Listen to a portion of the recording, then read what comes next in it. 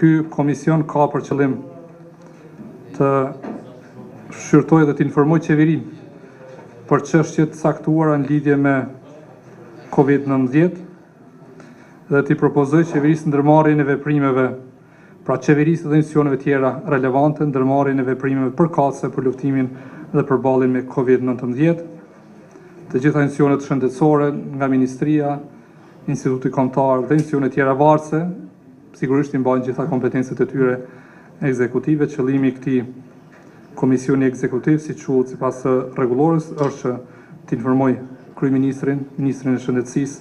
dhe institucionet tjera në koordinimin e aktiviteteve ose në nivel të planifikimit strategjik sa i përket luftimit të pandemisë Covid nëntëmbëdhjetë.